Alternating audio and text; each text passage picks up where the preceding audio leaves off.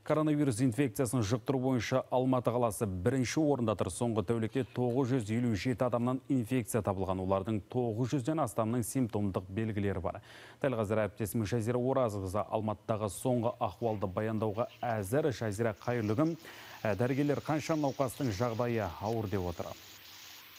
Иә шерхан қазір қаладағы инфекциялық стационарларда төрт мыңға жуық адам емделіп жатыр.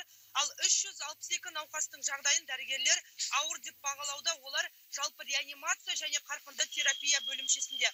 Соңғы уақытта қалада балалар арасында да індет жұқтыру көбейген. Қазір емдеу мекемелерінде жүз он үш бала ем алып жатыр. Және де бастапқы санитарлық медициналық көмек көрсету және телемедицина орталығы дәрігерлерінің бақылауында сегіз мыңнан астам науқас бар. Олардың жеті мың сегіз жүз алпыс үшінің жағдайы жеңіл және орташа ауырлық дәрежесінде деп отыр дәрігерлер.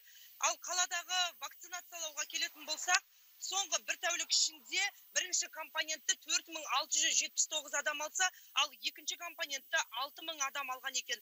Қоғамдық денсаулық басқармасының мәліметінше жаппай вакцинациялау басталғалы екпе алғандардың жүз он төрт мыңнан астамы алпыс жастан асқан қарт кісілер екен.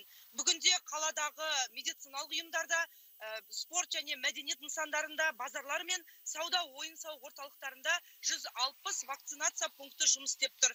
Айта кетейін өткен демалыс күндерінен бастап алматыда карантин жеңілдеді. Шерхан алматыдағы соңғы жағдай осындай. Рахмет. Бізбен Алматыдан тікелей байланысты болған әріптесім Шайзира Досмағанбет.